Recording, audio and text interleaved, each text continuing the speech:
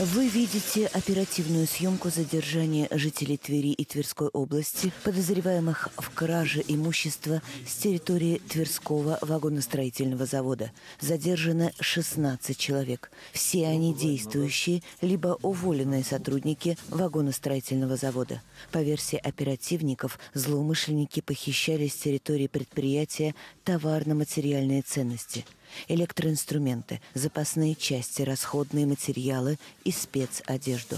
Сначала они прятали украденные вещи в тайниках, оборудованных на предприятии, а затем вывозили в специально подготовленных грузовых автомобилях.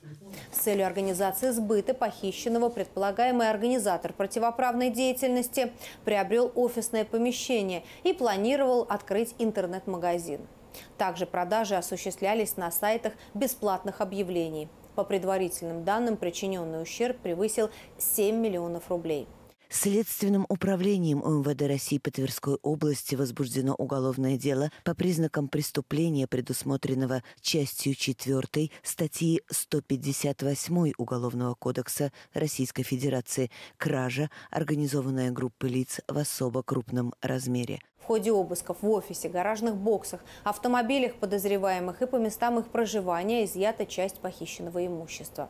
Также обнаружены банковские карты, денежные средства и тетради с записями, которые имеют доказательственное значение для уголовного дела.